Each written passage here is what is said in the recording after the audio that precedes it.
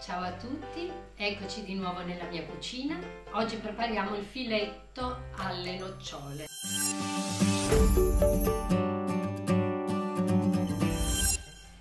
Questo piatto semplicissimo sviluppa e racconta gli aromi, i sentori e la tradizione di una parte del Piemonte.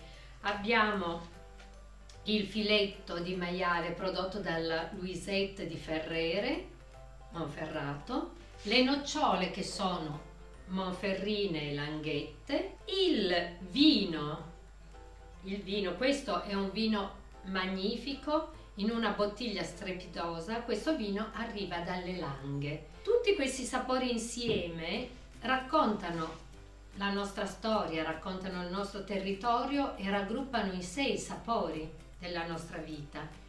Quando io poi cucinerò questo filetto e sarà pronto per essere impiattato, lo accompagnerò con polenta che ho preparato anticipatamente, una polenta 8 file, anch'essa del Piemonte, anch'essa è una, è una storia del nostro territorio, perché noi qui in Piemonte siamo molto bravi a lasciarci suggestionare i sapori che noi abbiamo sono veramente strepitosi.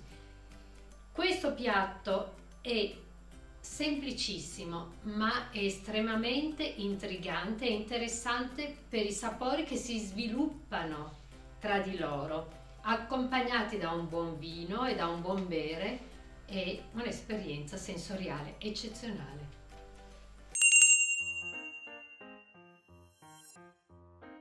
Se necessario sgrassatelo, se no lasciatelo così esattamente com'è e considerate due fette circa a commensale. Quello che avanza è per gli affamati. Se qualcuno è un po' più goloso mangia un po' di più. Ecco, il profumo di nocciole sta alla carne di maiale come le api sui fiori. Dopo averle passate nella farina, aggiungeremo il trito di nocciole, quello un po' più grossolano, ma serve per dare un, una curiosità. Questo è un piatto direi perfetto perché oltre ad essere salubre e pieno di eh, principi nutritivi importanti per il nostro benessere, è buonissimo. E preparare un filetto eh, in questo modo 5 minuti metto il burro per preparare i filetti. Abbondante abbondante perché comunque sia le nocciole sia la cottura stessa lo assorbe un po' allora noi per evitare che venga assorbito tutto e si consumi aggiungiamo anche un po' di olio di oliva che così impedisce al burro di bruciare. Devono cuocere annegando leggermente nel condimento. In questa preparazione il pepe è fondamentale perché esalta i diversi sapori il sale favorisce appunto l'eliminazione da parte degli ingredienti dei liquidi e allora io lo metto solo a fine cottura, anzi quando impiatto. Ecco, il burro sta imbiondendo e i nostri medaglioni stanno cuocendo.